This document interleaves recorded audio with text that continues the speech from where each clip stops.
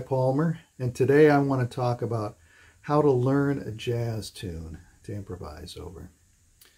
So you just heard me play a little bit over the Tadd Dameron tune Lady Bird that I'm working on uh, for myself and for my improv class right now.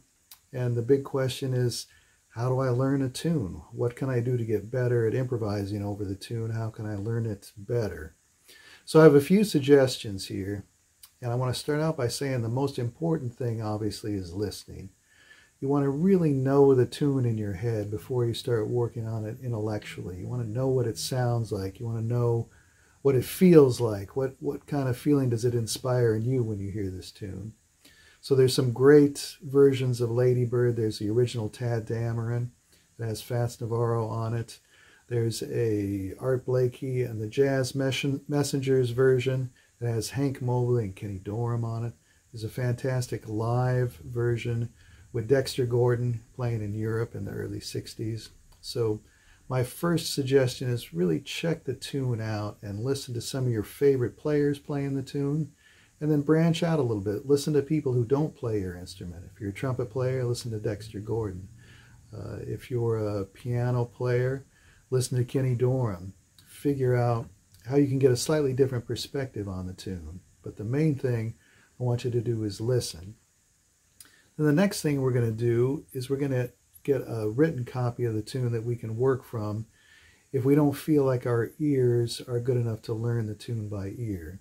So here's a lead sheet I made up uh, for Lady Bird here. And I'll just throw that up on the screen so you can see what I'm working from and this is kind of a compilation of different versions I've heard. And it's the simplest version of the chord changes. Uh, it has this Tadd Dameron turnaround at the end, but it doesn't have the 2-5 up a half step uh, in the key of A before you go to the key of A flat, which a lot of versions do. So I'm starting out with a little simpler version of the changes here. You can always add more complex versions later. I think the turnaround at the end is very important. So I've got that here. And even then, there's different ways you can play this turnaround.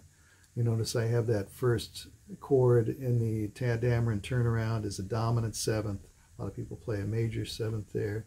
Some people alter uh, the turnaround by playing a dominant seventh, major seventh, dominant seventh, major seventh. Some people play all major sevenths. I like this approach here where you play a dominant seventh and then two major sevenths. So essentially, you're going to a major key that's up a minor sixth from the from the original key of the tune. But anyway, start with a good a good copy uh, that you can work from. If you don't feel confident, just transcribing it yourself.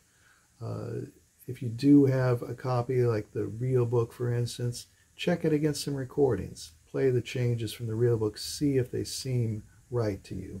Because you can probably tell that even if you don't feel confident transcribing the changes yourself. Then, of course, the first thing I'm going to work on is learning the melody. Now, don't skip this step. A lot of people don't really think about the melody. They want to get right to improvising over the tune. I understand it's more exciting to be creative and improvise, but the melody is so important, and getting the right style and feel on the melody is what's going to make you sound like a more experienced improviser before you ever start improvising. So think about listening to the way people play the melody. What do your favorite players do with vibrato, with phrasing, with rhythm? Really check it out. So the first thing I'm going to do now is I'm going to play the melody along with a play along track. Uh, you can you can get tracks from Band in a Box. You can build your tracks. You can build your tracks from iRealBook, uh, iRealB, iRealB Pro. These are all good sources where you can build your own track. So I've got a track from Band in the Box here that I'm going to play along with that matches what I've got on my sheet. And the first thing I'm going to do is I'm just going to practice playing the melody. I'm just going to play a couple of choruses of the melody.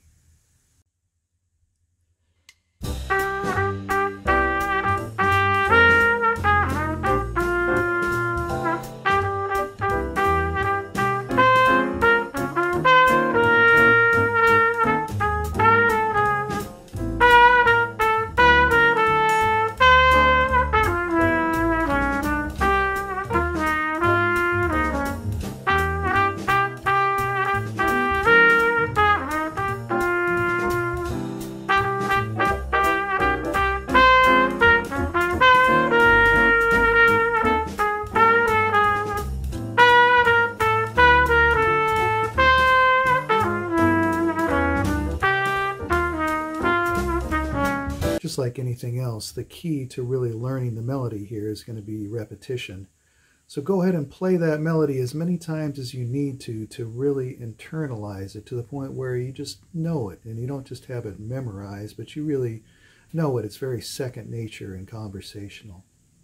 The next thing we're going to do is start working on learning the chord changes. And the most important part of the chord changes is going to be the root movement. So to learn the root movement, as a trumpet player, I just practice long tones along with my play along CD, where I'm holding the notes of the roots for as long as the chord lasts. Now, if we're playing piano,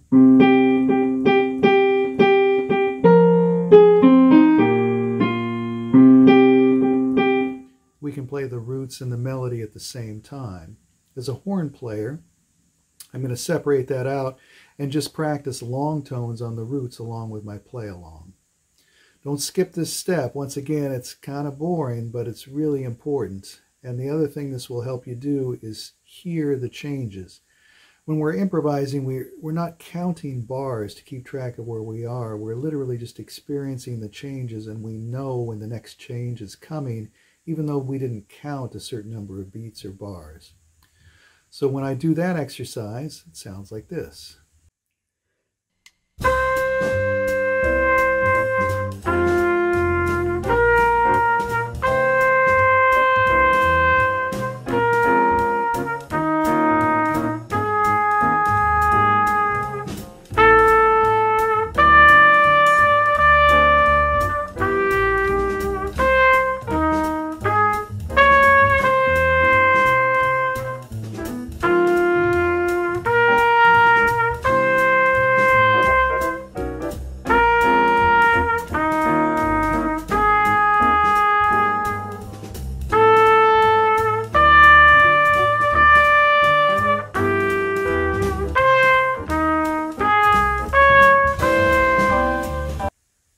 So now I've practiced the root movement and heard the pacing of the chords, but I haven't really delved into the chord qualities.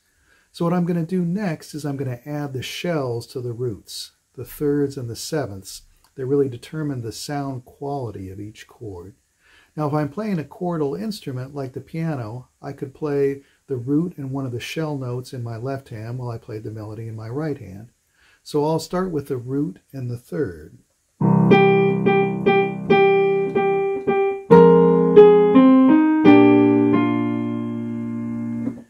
As a trumpet player, I don't have the option of playing two notes at once, so I'm going to do this in a melodic sense, where I'm going to play the third to the root in each bar that has a chord.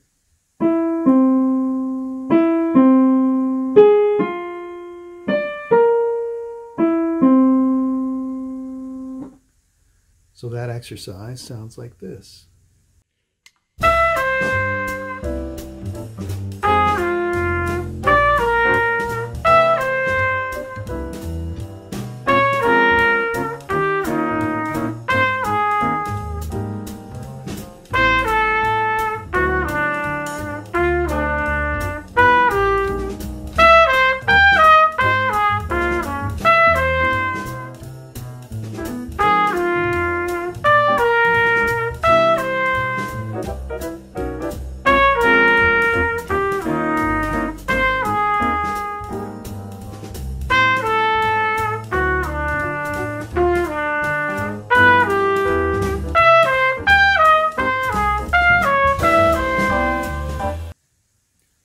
Next thing I want to do is to add the other shell note, the seventh of the chords, to my practice. If I was playing piano, I could simply add the seventh on top of the root as a voicing in my left hand, and then play the melody above that.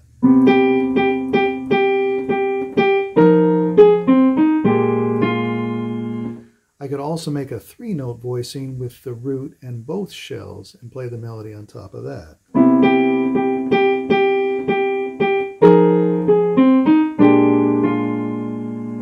As a horn player, I'm going to play this pattern melodically, so where I'm, I'm playing both shells and the root. So I'll play third to root and seventh to root is my basic pattern to practice the root with both the shells.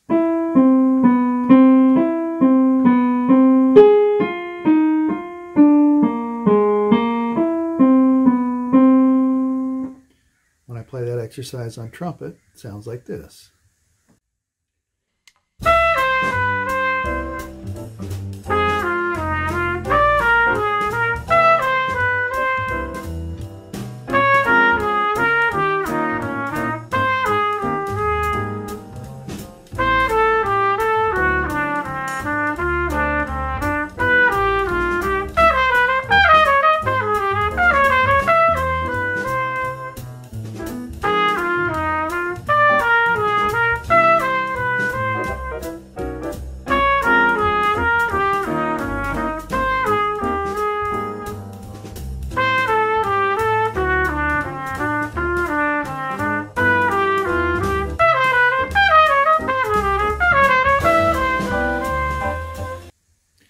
Last thing I'm going to do is add the ninth to my practice pattern of root and shells.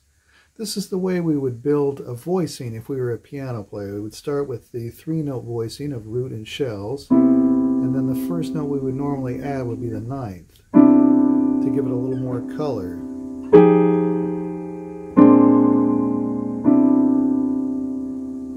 So I'm going to do this in my practice melodically, and I'm going to play from the third down to the seventh, including the nine. So three, two, one, seven.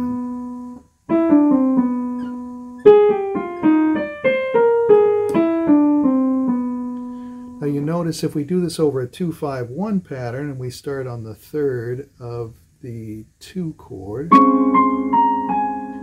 then start on the third of the 5 chord, start on the one or the third of the one chord, we get a nice melodic line that's just a scale running down. But we've included all the nice notes in the right places.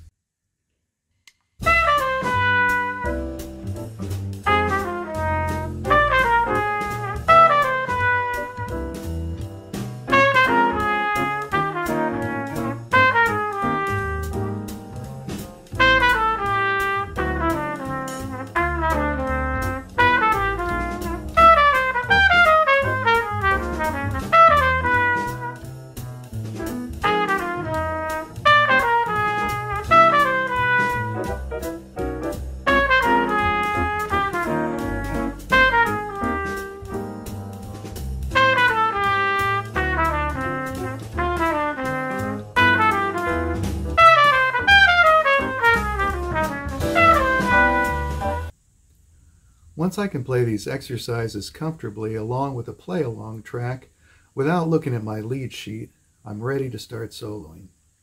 And the first thing I'm going to do is practice soloing using only the major scales and any related modes or arpeggios.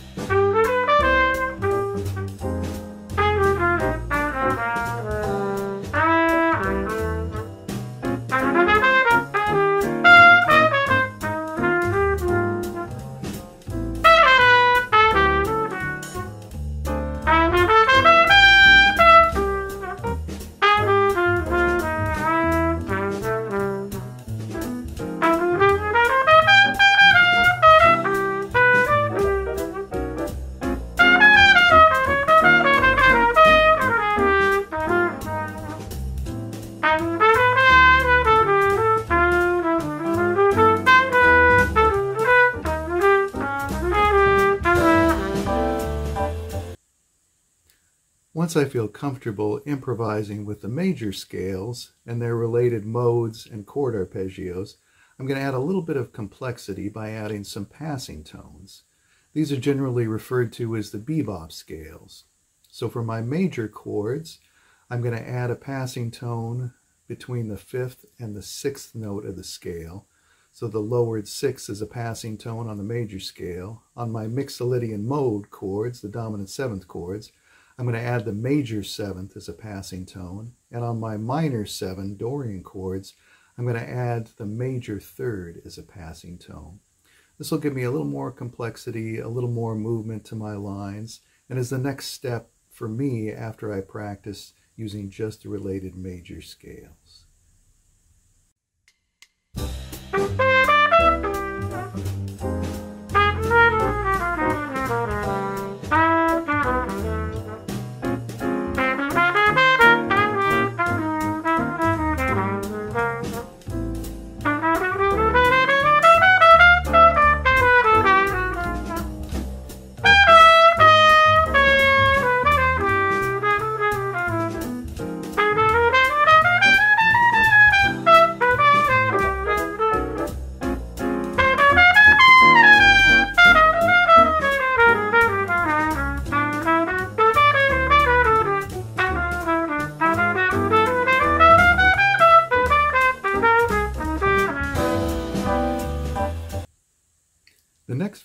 I add to my solo practice is modal improvisation. In this example, I'm going to use a mode for each chord and stick strictly with the mode with no passing tones.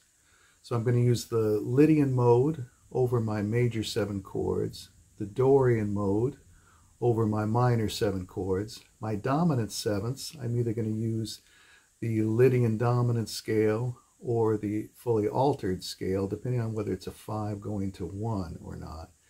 And these are going to be coming from modes of the melodic minor scale. So now I'm going to stick with strictly modal improvising, quite different than the more bebop style I practice with the bebop scales and the passing tones.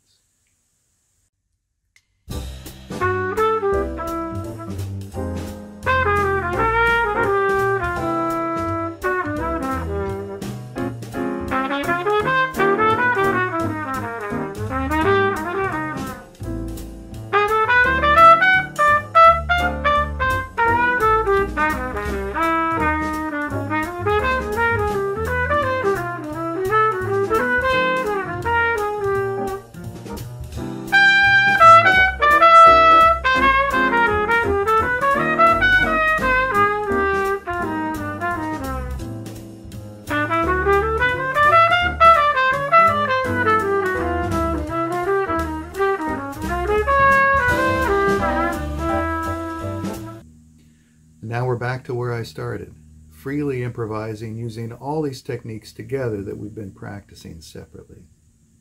I hope this video has been helpful, and remember, at the end of the day, we're just trying to play what we feel.